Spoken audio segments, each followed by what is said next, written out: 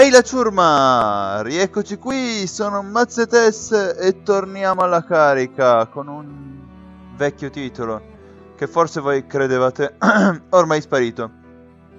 Child of Light, volevo tornare su di lui appunto per una breve recensione di quello che alla fine mi ha lasciato dopo tutti questi video, dopo questa serie completata, che se per caso non avete ancora visto potete fare un salto a vedere. Come l'avevo fatto di Valiant Hearts, mi sembrava dovuto farlo anche di Child of Light, anche se non l'ho... Ehm... Non ho registrato la parte in cui trovo tutte le, le parti della scritta, insomma. Ho visto che ci sono già parecchi video che lo mostrano e mi sembrava un enorme impiego di tempo e ora non ho tantissimo tempo da dedicare a questo, insomma. Quindi... Ehm sarà una recensione così con le immagini che scorrono di, di Child of Light nel frattempo. Ehm, innanzitutto partiamo dai punti positivi, devo dire che uno in assoluto è la grafica, perché ha una grafica davvero semplice ma efficace, perché eh, è una grafica disegnata, no? Ma è proprio come uno ci si aspetta che sia la grafica di una fiaba essendo una fiaba, questa, questa, questo tono acquarellato, insomma, come se fosse eh, un'illustrazione di un, di un libro per ragazzi, fa davvero il suo sporco effetto. Poi l'animazione di, di Aurora o comunque di Igniculus, eh, poi Aurora soprattutto con le ali e con i capelli che, che fluttuano al vento, è davvero una cosa molto molto bella. Infatti questo proprio bravi Ubisoft spettacolare. E ti garantisce un'immersione totale nel titolo. Sì assolutamente perché uno si trova proprio dentro la fiaba. Eh, altri pro sono la storia. La storia è sviluppata bene eh, ha una buona trama ha un buon inizio, un buono svolgimento, una buona fine. Eh, niente è scontato e ci sono anche delle parti del, del, della storia che non sono quest principali, insomma, come quello dei, del villaggio dei Bolmus Populi o il villaggio dei Capilli, eccetera, eccetera. che sono davvero belle eh, e aggiungono qualcosa in più, aggiungono inoltre i personaggi. Molto bello è anche il sistema da gioco di ruolo, insomma, che eh, dà queste abilità che possono essere utilizzate dai vari personaggi e eh, ognuno deve scegliere un po' il percorso da seguire perché non possono essere sbloccati tutti i punti di tutte le abilità, quindi bisogna eh, giostrarsi bene e capire bene anche come crearsi la propria squadra in modo da avere una squadra abbastanza bilanciata con uno che possa eh, curare, diciamo, uno che possa essere quello ad attacco a distanza, uno che abbia che sia più tank magari o più fighter, diciamo. Eh, e quello è molto strategico anche, quindi non è un gioco solo per bambini perché c'è molta strategia in mezzo. E, eh, e questa è davvero una cosa ottima.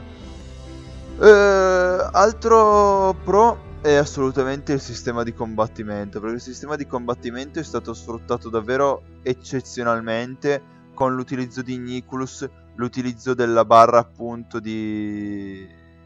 di... Per, ca- per, castare le, le, le, azioni, a che siano abilità piuttosto che attacchi normali, che siano pozioni, scambio di personaggi eccetera eccetera, la possibilità di rallentare gli altri, la possibilità di velocizzarsi, gli oculi poi, davvero gli oculi, il sistema degli oculi è spettacolare, davvero ti dà una possibilità di gestire la, par- la partita che è paurosa. Paurosa, puoi davvero cambiare partita da, un, da, un, da una giocata all'altra. Da una volta all'altra che, che utilizzi questo gioco e fai la storia principale, puoi cambiare totalmente il modo di agire. E quindi quello è davvero un elemento proprio da non, da non sottovalutare.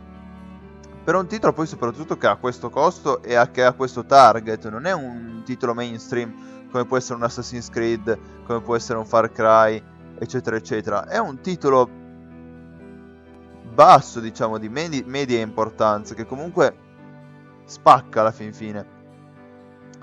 E... I pro mi sembra di aver detto tutto.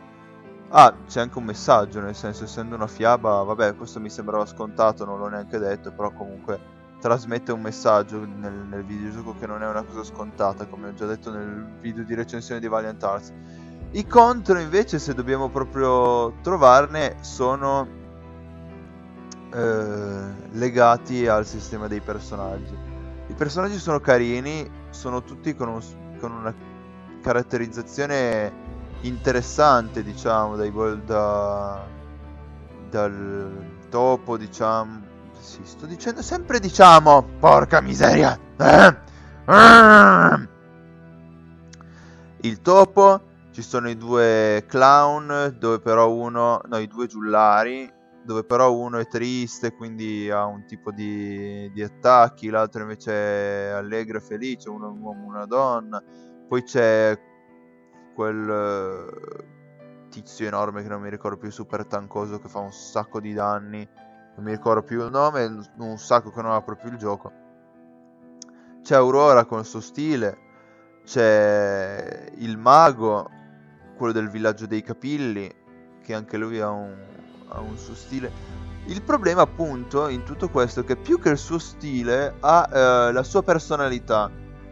Una personalità e eh, una storia dietro che è ben sviluppata le abilità invece spesso eh, ricadono sempre su dei, eh, degli stili simili, diciamo.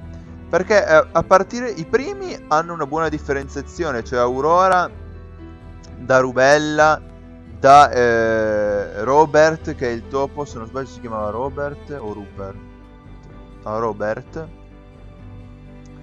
Anche il, il tizio super tancoso eh, e il mago, secondo me questi sono i cinque stili di gioco.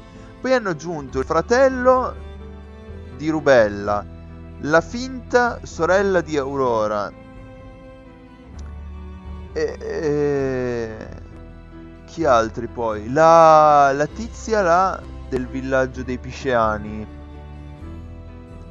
di cui anche là non mi ricordo più il nome, che però non hanno uno stile proprio loro. Prendono un po' da una parte, un po' dall'altra, un po' di rallentare, un po' di difesa, però non hanno un, un, un utilizzo forte, diciamo, nel, nel, combattimento. E di conseguenza uno poi alla fin fine finisce per utilizzare 3-4 personaggi. Perché davvero ce ne sono tanti e questo aumenta la possibilità di gioco che puoi avere. Però alcuni hanno una differenza così leggera da altri o hanno un'utilità così bassa in confronto ad altri che non sono particolarmente utilizzabili. Davvero io penso al fratello di Rubella, io poi magari è colpa mia che io di strategia non sono eh, un, un grande campione. Ma l'ho trovato davvero abbastanza inutile come sistema proprio di combattimento, come abilità. Non era non era gestito bene. No, no non era gestito bene. E questo diciamo che secondo me è l'unico contro diciamo che ho trovato serio. Anche perché bug non ne ho trovato nessuno. Proprio nessuno. Eh, e quindi a differenza di Valiant Arts questo è buono, ci hanno dedicato del, del bel tempo e Boh. Ah, altro pro che non ho sottolineato perché non ho sfruttato questa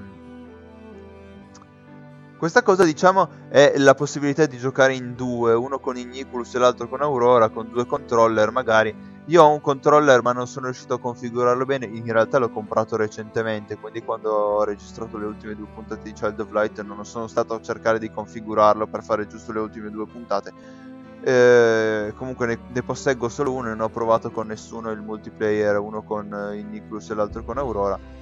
Però eh, è una, una, bella idea, diciamo, per giocare insieme, anche se magari non è un titolo che uno gioca tanto insieme, magari uno può giocare più insieme qualche cosa di sfide, tipo non so, un Mario Kart o un Sonic eh, All Star Racing Transformed che a cui sto giocando parecchio ultimamente. Ma, ma è una buona cosa, diciamo, una cosa interessante, come credo possa essere se l'avete visto il, la serie di Brothers, quella che sta facendo Marco 88, anche là credo, non sono sicuro, ma credo ci sia la possibilità di usare il doppio controller, uno per gestire un fratello l'altro per gestire l'altro. E davvero la storia mm, è interessante perché fa partecipare più persone che nei videogiochi è sempre un po' complicata come cosa perché rischiano di diventare spesso dei fenomeni di alienazione e di solitudine. Io invece sono qui con voi e vi ho presentato oggi questa recensione di Child of Light. Mi pare di aver detto tutti i punti salienti. Eh, ho sfruttato poco il sistema delle pozioni e quindi non so tanto bene dirvelo, ma perché io di, di base sono sempre abbastanza scettico sulle pozioni. Però sono utili e sono servite nella mia partita in particolare. Quindi su quello non commento tanto, però eh, spero che questo video vi sia piaciuto, breve, eh, ma mi sentivo proprio di, di farlo per dare un, una summa, diciamo, in conclusione di, di questo titolo, cioè The Light. Mettetevi un, vi invito a mettere un mi piace e iscrivervi al canale se per caso non l'aveste già fatto e magari guardare qualche puntata di Child of Light della mia serie se per caso non l'aveste seguita per, e, e, e foste interessati. Vi saluto, ci vediamo probabilmente domani con Mindtest o comunque con qualche altro video che vi interesserà. Ciao a tutti ragazzi!